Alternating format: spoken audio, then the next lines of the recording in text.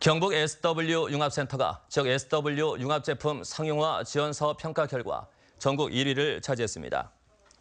경북센터는 2014년과 15년 미래창조과학부와 정보통신산업진흥원이 공모한 지역 SW 융합 제품 상용화 지원 사업에서 전국 최다인 3개 과제를 수주했고 포항 테크노파크에 입주한 베이다스의 첨단 운전 지원, SW 개발 지원 등 3개 과제를 수주했습니다. 경북 SW 융합센터는 2016년도에도 신규 융합과제 2개를 수주했고 지역기업의 기술 개발과 지적재산권 획득, 마케팅 지원 등을 확대키로 했습니다.